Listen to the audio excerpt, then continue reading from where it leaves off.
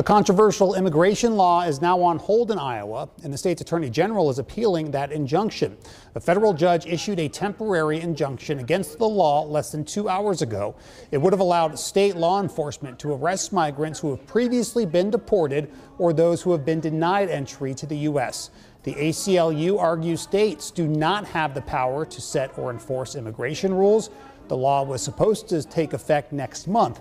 In a statement, Iowa AG Brenna Bird says she's disappointed in the judge's decision, saying, quote, Iowa never would have had to pass this law to begin with if it weren't for Biden's open borders, unquote, of course, referencing the president. Governor Kim Reynolds also released a statement. She says the injunction leaves states, quote, vulnerable to the ongoing crisis, and she supports AG Bird's decision to appeal.